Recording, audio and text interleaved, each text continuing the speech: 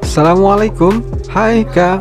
Ya opo ya opo kabar iki? Piapik toh? Oke nek gitu maca odas lagi. Sekarang kita balik ngebahas film dari negara Jepun. Judul film kali ini Blade of Immortal. Tak bagi dua part filmnya. Nang foto subscribe. Yuk ke filmnya. Nyoh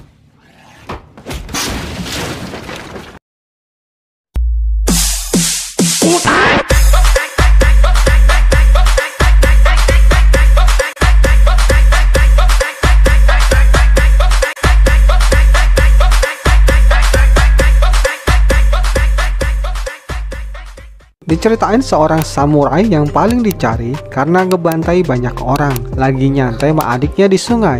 Lalu datanglah seorang bikuni yang bilang bahwa dia ada di poster buronan yang udah ngebunuh kepala kepolisian Shogun. Dan emang pria ini udah ngebantai banyak orang dan salah satunya suami dari adiknya ngebuat adiknya gila dalam kesedihan. Kemudian adiknya bernama Maci ini pergi. Si pria tadi langsung ngikutin. Ternyata adiknya disandra sama pembunuh bayaran yang bawa anak buah banyak banget. Lalu si pembunuh bayaran ini minta senjata samurai tadi dibuang, ntar adiknya dilepasin. Bener aja, bis itu adiknya dilepasin, tapi langsung disabet sama ketua kelompok ini. Marahlah si pria yang namanya Manji dan langsung maju kayak Kenshin gitu.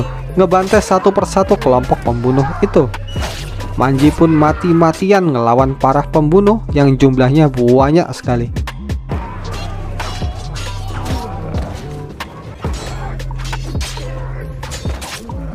Sampai akhirnya tangannya pun kepotong. Banyak yang udah dibunuh Manji sampai ke sisa satu orang.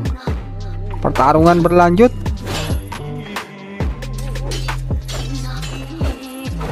dan matilah si pembunuh itu. Manji datang ke adiknya. Kemudian dia sekarat. Datanglah bikuni yang tadi dan bilang dia harus bayar dosanya dengan keabadian. Ditaruhnya lah cacing darah langkah di dalam lukanya.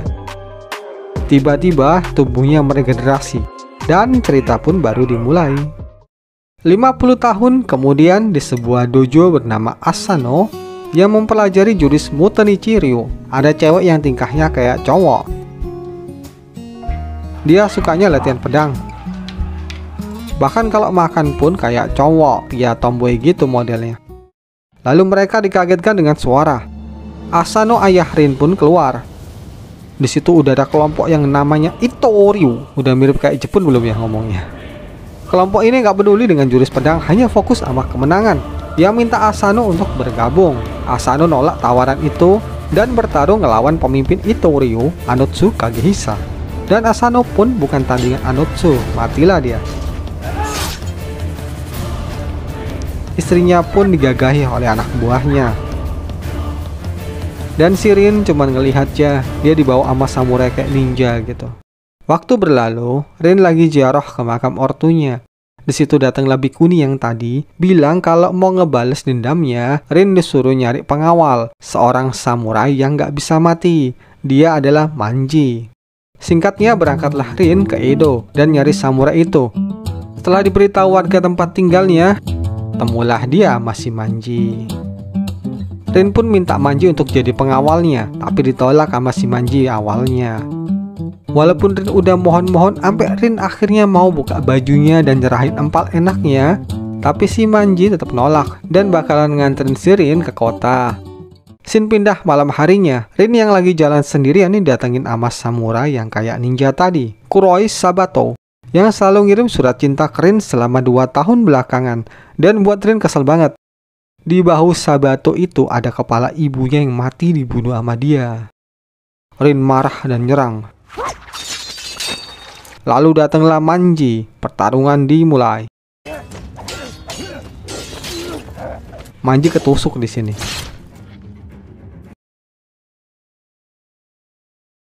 Lalu sisa batu ini mau ngebunuh Rin, yang bukan tandingannya. Manji pun langsung nusuk Sabato dari belakang. Sabato bingung kok gak mati si Manji ini habis ditusuk. Lalu matilah si Sabato kena tebasan Manji. Jadi Manji ini nggak bisa mati soalnya lukanya nutup terus kak. Sin pindah lagi di mana Habaki, kepala pelatihan militer Shogun, datang ke tempat Anotsu dan minta Anotsu untuk jadi pelatih pasukan militer Shogun. Anotsu pun bilang dia mau asalkan sekolahannya pakai nama Itoryu dan Anotsu yang jadi kepala sekolahnya.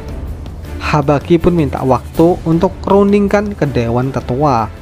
Habaki pun pergi dan datanglah anak buah Anotsu kayak ninja juga. Yang ngelaporin kalau Sabato mati. Anotsu minta semua anggotanya harus bisa menjaga diri. Keesokannya, Rin datang ke tempat pengasah pedang dan ngelihat pedang milik keluarganya ada di situ. Dan ada ninja tadi datang ngambil pedang tersebut. Terus Rin pun lari ke rumah Manji dan ngelaporin kalau dia ngelihat anggota Itoryu di kuil Sensoji. Manji pun berangkat sendirian. Udah malam aja ya?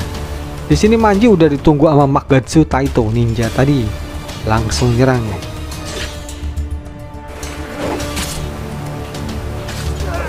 Manji pun terjatuh yang mana Taito itu tahu kalau itu adalah pasir hisap. Manji terjepit di sini. Disabetin terus, tapi Manji nggak mati-mati. Dan Taito nganggap semua samurai musuhnya. Soalnya waktu kecil Taito sama temennya pernah main bola. Dan ada tuan tanah yang lewat. Nah, tuan tanah tadi kena bola temennya. Dan dibelahlah anak itu jadi dua sama pengawal tuan tanah itu. Marah jadi si ninja ini. Manji pun ditusuk tapi si Manji nusuk balik Taito. Manji akhirnya menang lagi. Manji pun pulang ngembalin pedang milik keluarga Asano ke Rin. Di sini Rin tahu kalau mukanya mirip sama si Maji, adik si Manji. Karena dari situlah si Manji ini pengen ngelindungin dan nolongin si Rin walaupun gak dibayar. Sin pindah di mana Rin dan Manji jalan nyari jejak Itoryu dan mereka mampir ke kedai dan Rin pun di sini kebelet pipis. Waktu Manji lagi nyantai, datanglah seorang pendeta yang ngedeketin si Manji. Pendeta ini bilang kalau dia tahu di mana keberadaan Anotsu Kagehisa. Pendeta ini ngenalin dirinya, Shizuma Aiku, yang ngajak Manji untuk gabung mandirinya ngelawan balik Anotsu Kagehisa, seorang samurai berbakat yang belum ada tandingannya. Jadi si Suma ini nggak bisa ngalahin Anotsu sendirian. Jadi ya dia ngajak si Manji. Tapi Manji nolak. Ya karena model orangnya kan egois si Manji ini. Pendeta ini pun langsung nyerang Manji dan tertusuk di belakangnya. Ketika mereka keluar, pemilik warung teriak. Ternyata si Zuma bangun lagi kak. Dia juga sulit mati dan udah hidup selama 200 tahun. Udah banyak kehilangan teman dekat dan dia sendiri masih hidup. Si Suma pun pergi di tengah jalan Manji kesakitan dan ngerasa ada sesuatu di pedang si Suma yang buat cacing darah lemah. Rin nyari bantuan dan dihadang sama si Suma. Lalu Rin pun ditawan. Si Suma ngelukain lidah Rin dan suruh jilat. Siapa tahu cacing darah bisa pindah tempat. Ternyata cuma buat mainan aja masih Suma. Rin pun mau dibunuh masih Suma. Tiba-tiba datanglah Manji. Di luar mereka berdua bertarung, saling bacok, sabet, lah sama-sama gak bisa mati. Si Suma yang udah ketusuk gitu banyak pedang masih bangkit. Lalu dia pakai cairan khusus ke pedangnya yang bisa ngelemahin cacing darah. Si Suma nemuinnya di Tibet katanya. Pertarungan lanjut. Akhirnya pedang si Suma jatuh ke tangan Manji dan ditusuklah si Shizuma. Manji tanya kenapa Shizuma nggak ngehindarin pedangnya. Shizuma jawab dia pengen mati dan udah lama nunggu waktu kayak gini. Intinya dia nggak mau bunuh diri, tunggu orang yang worth it lah. Sin pindah di mana anggota Itoryu banyak yang mati. Dan dilihat ma dua orang misterius. Di lain tempat Anotsu datang ke tempat Taito dan Taito ngelapor kalau Putri Asano nyewa pengawal yang kuat dan gak bisa mati. Scene lanjut di mana Habaki datang dan nyampein ke Anotsu kalau Dewan Tetua setuju sekolahan Shogun sesuai persyaratan Anotsu. Lanjut Anotsu pun mau pergi ke Gunung Takao untuk nemuin Ibane Kensui yang katanya mau gabung ke dalam anggota Itoryu.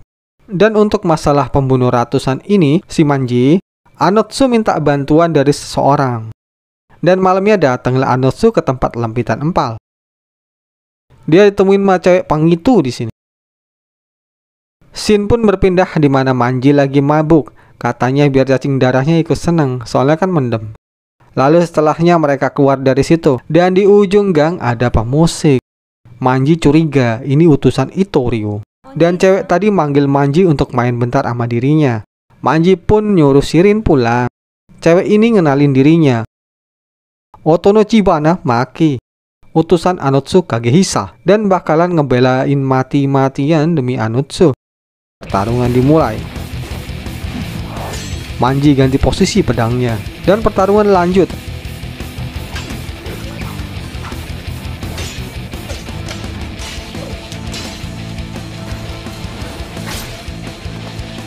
Manji di sini kalah ilmu sama si cewek ini.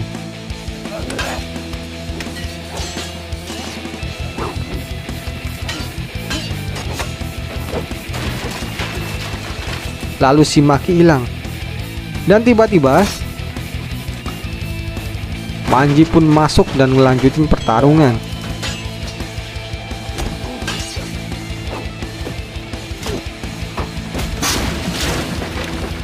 Cewek ini hilang lagi. Dari atas ternyata nyerang dan motong tangan Manji.